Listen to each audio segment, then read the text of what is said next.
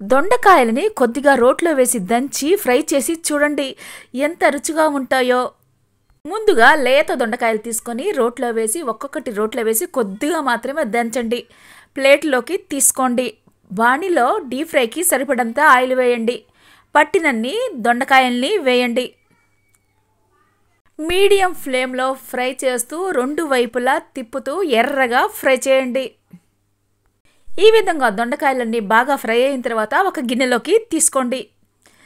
దీంట్లో రుచికి తగినంత ఉప్పును వేయండి.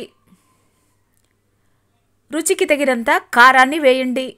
లేదా రుచికి తగినంత వెల్లుల్లి కారమైనా వేయండి. ఉప్పు కారం దొండకాయలకు పట్టేట్లు ఒకసారి బాగా కలపండి.